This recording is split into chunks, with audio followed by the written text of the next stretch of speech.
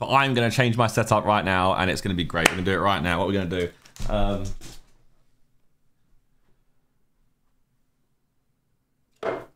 yeah. Yep, there we go. Done. That's now, now that's much better. Updated my whole setup. See that? XIX front and center. Uh, you know, we'll put one. Uh, we'll put one here the whole time too. It was put here the whole time. Wow, look perspective. Make a video on it yeah, next time. I might do. I hate like a clear out. Simon said that I have a lot of stuff. And it's almost like where I put stuff, and it is because it's my room where I live in.